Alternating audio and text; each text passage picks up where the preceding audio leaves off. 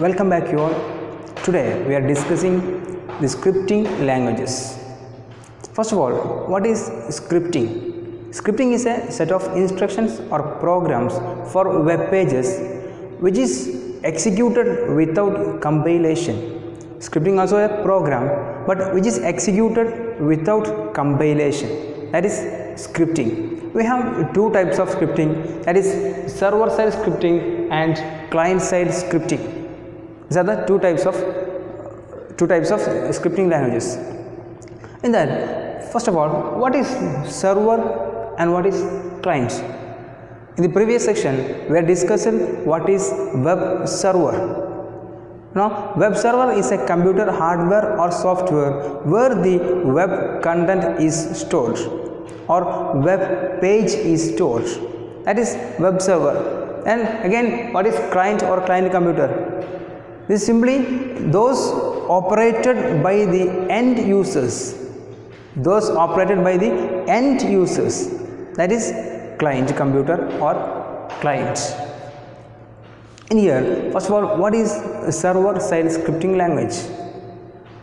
In first point check the first point. Execute on server. The server side scripting language it execute process or runs on the server or web server it execute process runs on the web server but in the client side scripting it execute on the browser. Or it execute or process in the browser or client computer. These are the main difference of the client side scripting and server side scripting. The server side scripting is run or execute on the server but the client side scripting is execute in the browser or client computer. We can check the difference of the client side scripting and server side scripting. First of all the second point is it dynamic web pages. It is used to making dynamic web pages.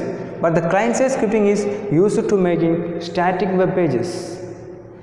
In the last sections we are discussing the types of web documents or web types. In that we have described what is dynamic web pages? What is static? And what is active web pages?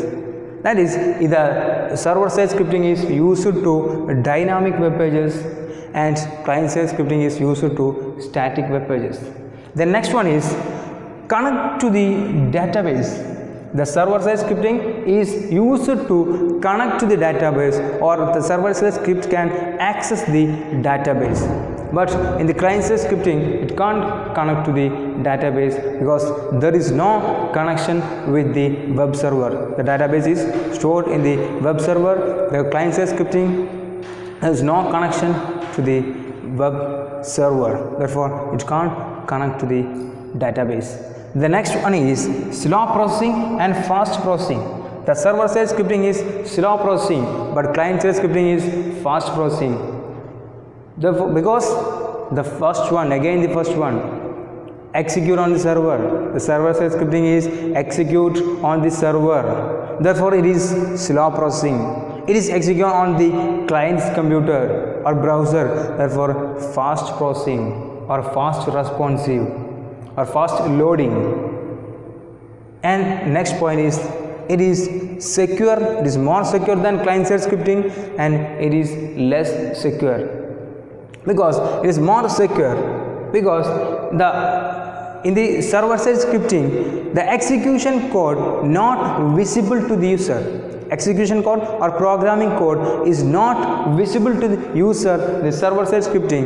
But in server in the client side scripting we can visible the code on the browser or to the user user can see the code of the client side scripting but not visible to the server side scripting. It is hide from the user. And next to the examples. The php asp python or ruby. These are the examples of the server side scripting.